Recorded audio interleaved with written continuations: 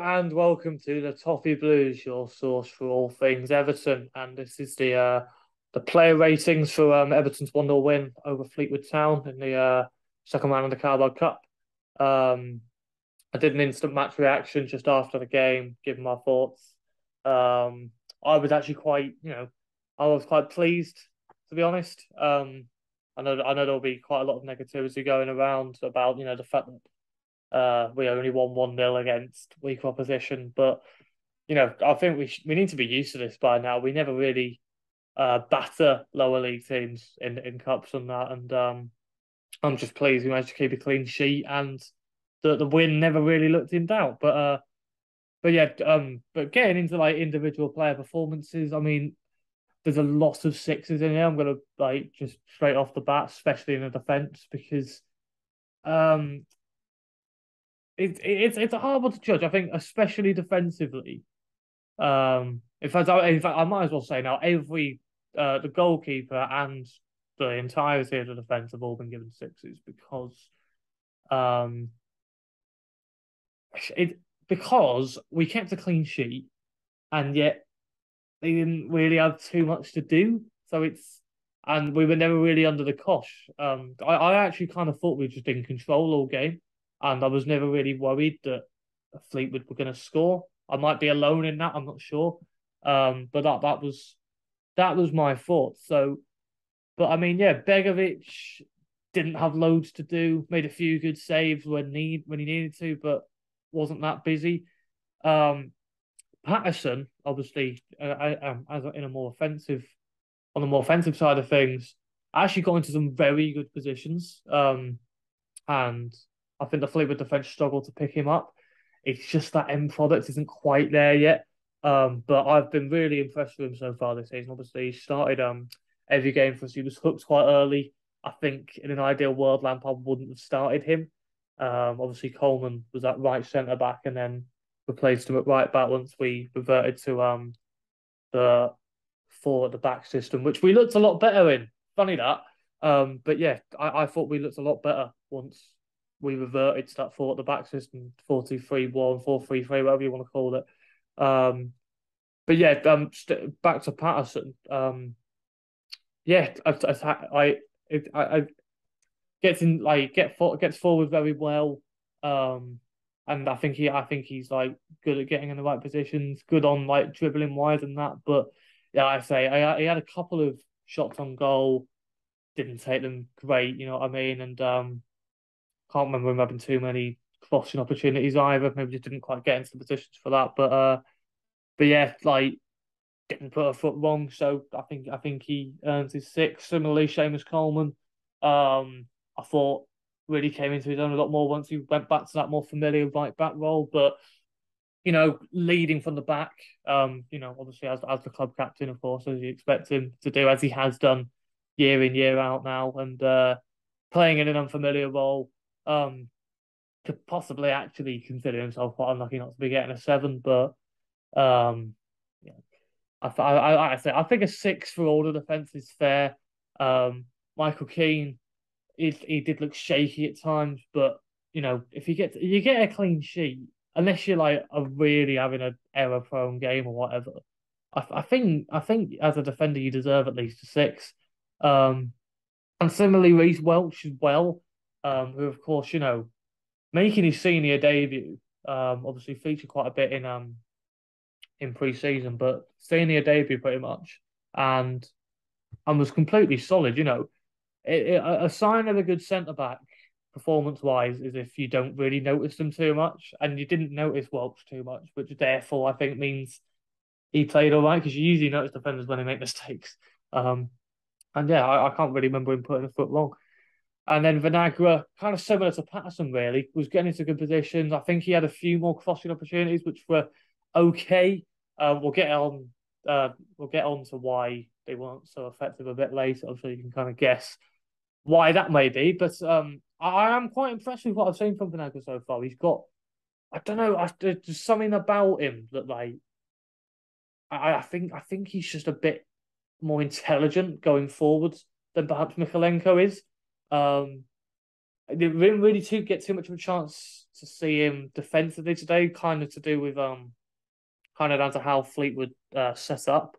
But um, I, I I would be interested to see Vinagre get a few more starts. I think, um, especially if we're going to stick with this um five at the back system with wing backs, because I definitely think Vinagre is more of a left wing back than Mykolenko is. I think Mykolenko is probably the best left back, like just like in a full back. Um, but if he's going to be stationed a bit further forward, then I think Vinagre will probably be the better option. Not entirely sure. Um, leave leave your thoughts in the comments um, about what you think about that. But uh, moving into the midfield, Amadou Onana, I'm going to give a seven. I think there will be people that disagree with me. I think, um, I, I mean, especially first half, there were quite a few sloppy passes. I remember, but um, I thought he was a very solid screen. I think we kind of got a bit of a glimpse more than uh, in his other like substitute cameo appearances. Obviously, this is his first start, but yeah, I think we got a bit more of a glimpse in what we can maybe ex- hope uh, to expect from Onana today. I thought he sat in front of the defense quite well. Um, good tackling at times. I think him and Iwobi were actually a very effective partnership, uh, perhaps more than I maybe expected them they'd be. Um, and when he did get on the ball as well and kind of went on a bit of a run, he's a very strong runner, very quick. Um, and obviously, you know, he's, he's strong, big lad. Um, so he's, you know, he's hard to shake off the ball, although uh, Fleetwood kind of found a way to do that by kicking the living shit out of him.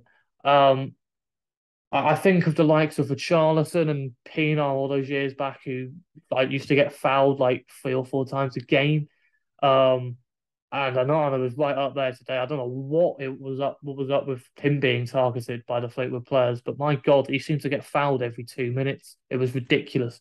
Um, and that's kind of um, uh, it, it's flawed logic, I'm sure, but it's I've contributed to why I've given him a seven because um, he gave a full ninety as well, which uh, again a lot of people were very unhappy with. Um, a lot of people were saying uh, like in like the hour mark, get him off Lampard, pull him off because he's clearly still not at full fitness yet. You'd expect, um, and like I say, getting kicked all the time, we, we don't want him injured. So, um, but yeah, I was impressed with Onana today. Definitely his um best performance for Everton so far. But um, next to him, by far man of the match again because he's man of the match every week at the moment for us. Iwobi gets an eight, um, has to get an eight at least. Um, if he like you know, if there'd been more goals that he'd been involved in, he might even have got a nine. But um, j- just ran the show yet again. Um, once we, like I say, reverted to that four back and we had that extra man in midfield and Lewis Warrington, he was allowed to go further forward, which I've always said would make him even better. And we didn't get to see that too much today, but he'd been playing so well before that it wasn't maybe too noticeable. But picking up passes, uh, his dribbling is superb, his control is superb.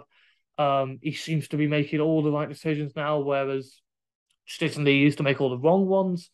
Um, got the assist, of course. Um, very um very well worked goal that I thought actually very smartly taken. Um, and like I say, picked out the right pass, uh, Gray in space, and obviously he gets the easy finish. We'll get onto that uh, from the Gray side of things in a bit. But yeah, Iwobi just, my God. I mean, I think I say it every week, but we all owe him, or at least a, a, large majority of the fan base owe him such a massive apology. It is just unreal. He's our best player every single week at the moment. Um, it's just insane. I've never seen a player so transformed, and there's nothing too much you can really say about that other than that. It's just, yeah, I if if he will be our player of the season this year, I'm almost certain of it. I think he'd have to get a major injury to not be. So, yeah, just I, I won't be. I I cannot I cannot say um cannot say a bad word about him. Absolutely brilliant.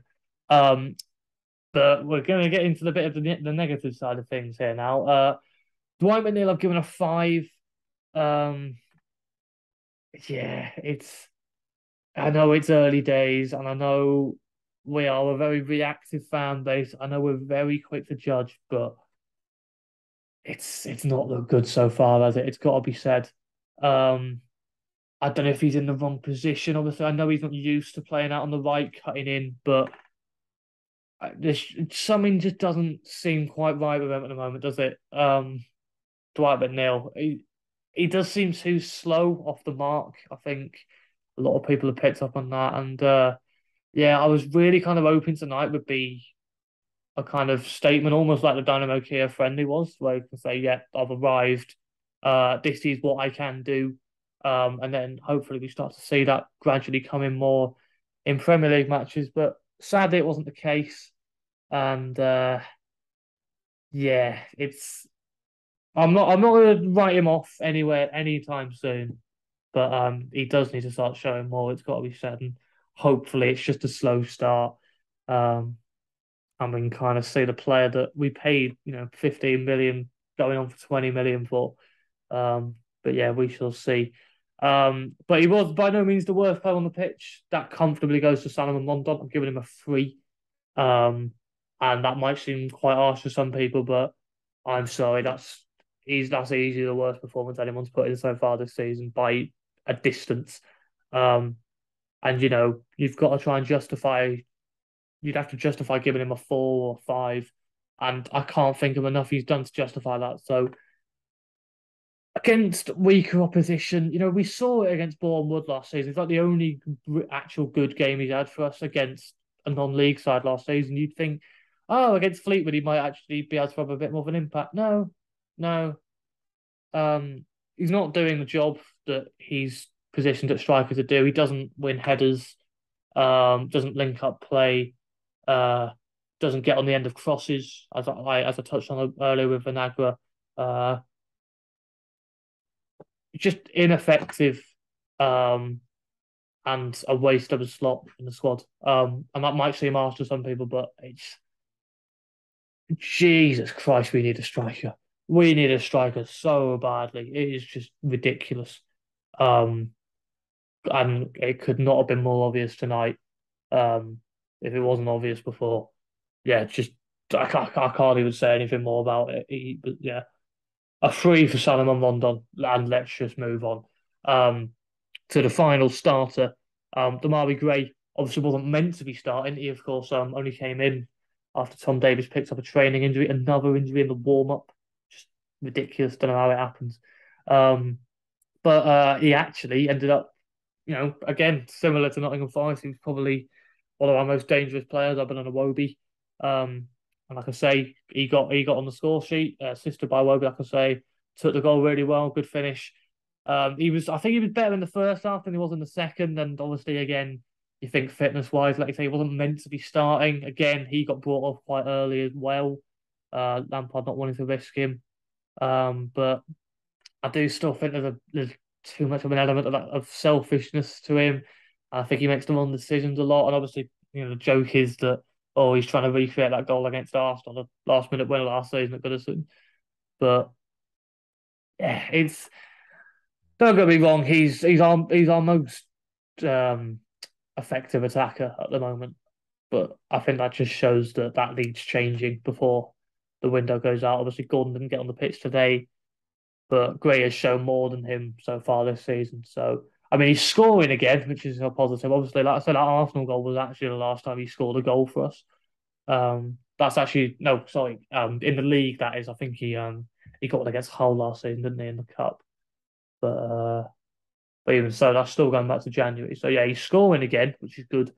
But uh, yeah, let's going to be over being a bit overly critical. I've still given him a seven, but if we're being a bit overly critical, yeah, we, we, we do need a bit more from him. And like I say, he needs to be a bit more of a team player, I'd say. Um, and yeah, that basically wraps it up. I mean, I'm not gonna I'm not gonna rate the subs, but I will say that Warrington in particular came on and looked very good. Uh, Tarkowski was, you know, so, as solid as you'd expect. Like I say, Fleetwood didn't have too much attacking to this. It was kind of hard to, hard to judge the defenders. And then Stanley Mills was was quiet. Um, didn't really have much impact on the game, but you know, didn't do anything wrong. So they probably all get sixes as well, to be honest. Um, I I would be quite intrigued to see more of Lewis Warrington. I do think, you know, well, I think we're hoping to get rid of a few more midfielders. I I I I wouldn't be surprised if Gomes and Allan um both leave before the end of the window if we can find um teams to take them on. And uh, I think Lampard's made clear he doesn't want to loan out Warrington this season. So he's obviously still starting for the under 21s, but I think he should probably be considered more of an option. the bench. I think he offers a bit more in that midfield. Always showing for the ball, can kind of do that holding role like Onana. And I say any midfielder that just allow, allows Iwobi, Iwobi to get forward more. You know, I keep banging on about it, but he is our most important player now. Um, and if you're going to build the team around anyone this season, build it around him. So that's that's where my mindset's at, especially when it comes to midfielders. So um, but yeah, that basically sums it up. That video. Um, uh, comment giving your thoughts, giving your ratings for uh, each of the players. Um, you know, I'm sure there'll be disagreements over there. There might be some who think I was too harsh on Rondon. There might be people who think I was too generous. Um, but uh, yeah, that, that basically sums it up. Uh, please leave a like if you enjoyed. Uh, subscribe if you're new to the Toffee Blues channel uh, for more Everton content. And we will see you in the next video. Cheers.